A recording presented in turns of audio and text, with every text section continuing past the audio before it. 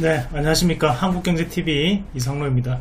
자, 어, 저희가, 어, 매번 상한가 방송을 통해 가지고 여러분들께 상한가 할 수 있는 기업들을 미리 분석을 해서 말씀을 드리고 있습니다. 자, 다행히 지난주에 말씀을 드렸던 종목도 상한가를 또 달성하면서 여러분들께 또 좋은 수익을 안겨드리겠습니다. 드렸습니다. 어, HLB 제약이라는 기업이었고요. 어, 한주 동안 상당히 큰 폭의 상승세를 좀 보이면서 두 배 가까이 올라가는 모습들 보였고, 뭐 KB 오토시스나 아바코 같은 기업도 이번 주에 급등 양상을 또 보이면서 또 우리의 계좌를 또 즐겁게 만들어 주었습니다. 자, 오늘도 여러분들이 많은 성원과 어, 관심을 가져다 주시고 있기 때문에 제가 열심히 또 준비한 만큼 또 좋은 종목군들로 구성을 했습니다. 마지막까지 열심히 집중하셔서 시청하시길 바라겠고요. 어, 본격적으로 이제 앞서 가지고 이번 주 상한가 뜬 기업들을 통해 가지고 어떤 이슈들이 어, 있었고 다음 주 또 어떤 이슈들이 나올 수 있는지 여부 한번 알아보도록 하겠습니다. 자 우선은 저희가 이 녹 화를 금요일 날 녹화를 항상 하거든요. 그래서 금요일 장중에 녹화를 하다 보니까 금요일 시장이 진행이 되고 있습니다. 그래서 매번 월요일부터 목요일까지에 대한 상한가 종목군들을 분석하고 있다는 점을 어, 먼저 참고해 주시면 감사드리겠습니다. 자 우선은 뭐 월요일부터 상한가 뜬 기업들을 한번 체크를 해보면 자, 월요일날 마이더스 AI 같은 경우에는 이제 관리 종목에서 해제가 되면서 어, 강한 움직임을 보이는 모습이었고요. 자, 사조동화원 대주산업 한탑 같은 경우에는 어, 지금 이런 기업들 같은 경우에 우리가 이제 곡물 관련된 가격이 어, 이상급 등 현상을 좀 나타내면서 지금 움직임이 어, 좋게 나타났습니다. 자, 그 이면에는 인도가 밀수출을 금지하겠다라는 이슈가 또 발생을 했죠. 우크라이나가 어, 밀수출 전 세계 5위권 그리고 러시아가 1위권 업체 기업 그 나라들이기 때문에 어, 그렇다 보니까 인도에 대한 수출 금지 이슈도 어, 시장에서 큰 이슈가 되면서 상한가까지 달성이 되는 모습들이었고 자 아스타도 상한가를 가는 모습이었습니다 자 화요일날 대성산업 자 많이 보셨던 기업이죠 저희가 이제 4월 29일 방송에서 소개해드렸던 대성산업이 또 어, 뭐 2주 정도 지나고 난 다음에 상한가를 또 달성이 되는 모습이었습니다. 그 방송에서 말씀드리는 종목군들 꼭 참고하셔서 매매하시길 바라겠고요. 자 세동은 흑자 전환이 이루어지면서 상한가를 가는 모습. 자 퓨런티어 기업은 어, 이제 라이다 기술이죠. 이제 자율주행에서 가장 중요한 것이 이 라이다라고 얘기를 하는데 그 라이다 관련된 부분에서 상한가를 또 달성을 하는 모습이었습니다. 자 수요일날 대방이 이제 HLB 그룹이 어, 상한가를 어, 모두 다 어, 들어가는 모습들이었는데 자 저희 추천지였던 HLB 제약 같은 경우에 좋은 모습 보였고 이슈는 이제 표적 항암제인 리보세라닙에 대한 어, 지금 확인성 평가가 다시 한 번 더 나오면서 어, 좋은 평가를 받으면서 상한가를 가는 모습들이었고 자 AB용도 표적 항암제에 대한 이슈가 나오면서 어, 지금 어, 다시 한 번 더 상한가를 가는 모습까지도 나타났습니다. 자 그리고 HLB 어, 글로벌, 그 글로벌 한탑 한탑은 한 번 더 상한가를 갔죠. 이 한탑이 시가총액이 원래 300억짜리였거든요. 저렴하다 보니까 어, 지금 이제 등락이 상당히 크게 나타납니다. 그래서 이런 종목군들 각별히 조심할 필요가 있고요. 특히 이제 어, 우리가 이제 곡물 관련주도 같은 경우에는 저희가 처음에 소개해드렸던 가격 대비해서 약 두 배 이상까지 대부분 다 올랐어요. 뭐 사조동원도 그렇고요. 지금 이제 한탑이라든지 이런 기업들이 그렇다 보니까 지금 이런 기업들 같은 경우는 지금 어떻게 보면 인플레이션으로 인해 가지고 가격 이상이 좀 더 나타났던 부분도 있거든요. 그래서 지금 미국의 금리 인상에 대한 부분이 좀 더 가속화되었을 때는 가격적인 부분에서 조정이 일부 나타날 수 있습니다. 그 trading 관점으로는 긍정적이지만 우리가 장기적 관점으로는 도약이 조금 힘든 그런 과정이라고 좀 참고를 해주시면 좋을 것 같습니다. 자 그리고 이제 목요일 날 돼서 이제 우크라이나 재건 관련된 종목군 어, 상한가하는 모습들을 보였는데 해인 그리고 이제 KH건설은 이제 우크라이나 재건 관련해서 상한가를 가는 모습들. 지난주에도 우리가 우크라이나 재건 관련주 관심있게 지켜보자 말씀드렸는데요. 다행히 제가 예측했던 대로 우크라이나 재건 관련주들이 여전히 좋은 모습을 좀 보여주고 있습니다. 자 그리고 대명에너지 그 코이즈도 상한가 달성이 되는 모습들이었어요. 자 그러면 여기에서 우리가 지난주 어, 상한가를 갔던 HLB 제약을 통해 가지고 어떤 기법이 이 HLB 제약을 상한가로 만들었는지 한번 같이 보도록 하겠습니다.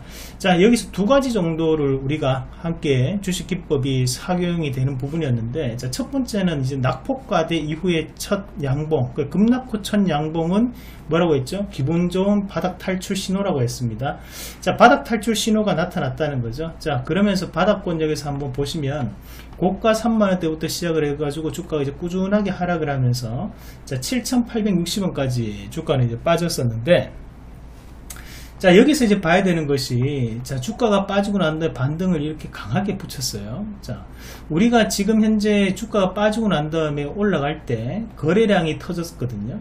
이 거래량은 결국 체결량입니다. 자 우리가 한 주에 대한 부분이 매수가 됐다는 것은 누군가는 한 주를 팔았다는 거죠. 그리고 내가 한 주를 팔았다는 것은 누군가 한 주를 샀다는 얘기예요.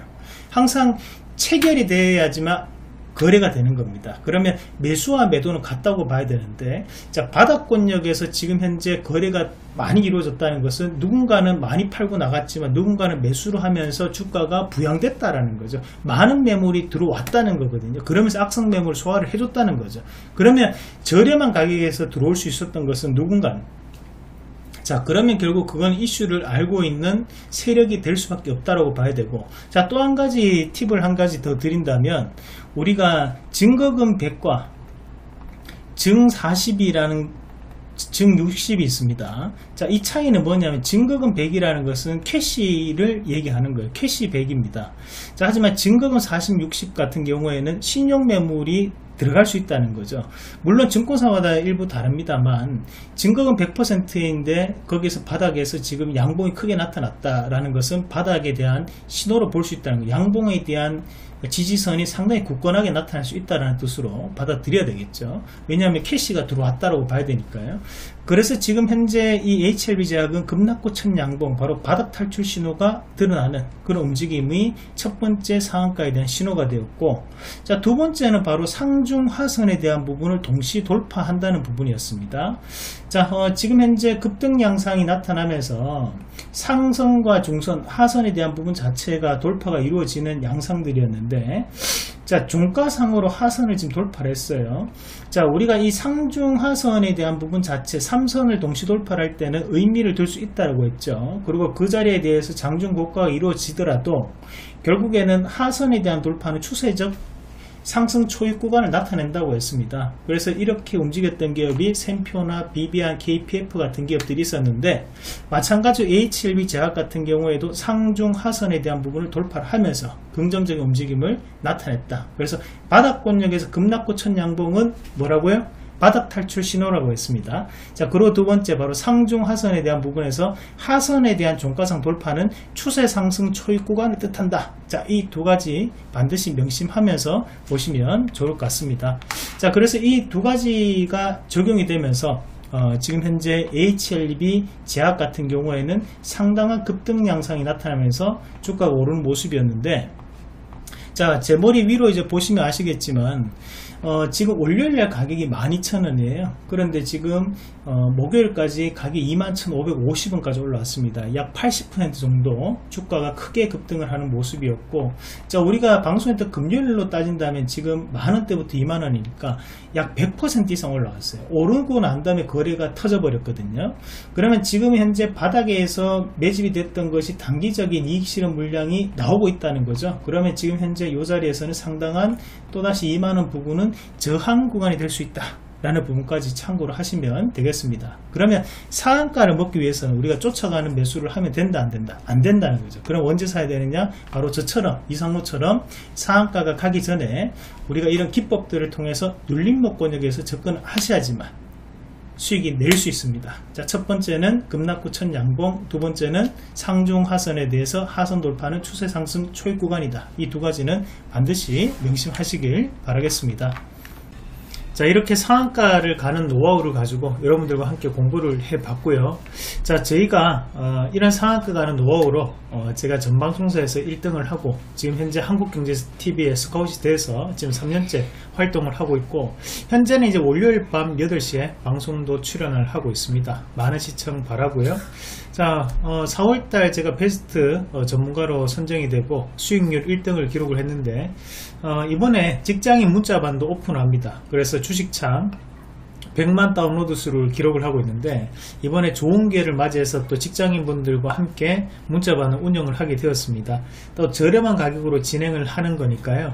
실제 우리가 스마트밴드 55만원인데 어, 이번에 진짜 절반도 안 되는 가격으로 어, 지금 오픈 이벤트 진행하고 있으니까 많이들 신청하셔가지고 일주일 추가 할인 혜택도 꼭 받으셔서 어, 즐겁게 주식하는 어, 저하고 그런 기회를 가져가 보시길 바라겠습니다. 자 그럼 오늘 설명 여기까지 말씀드리고 다음에 더 좋은 내용으로 다시 뵙도록 하겠습니다. 이상입니다.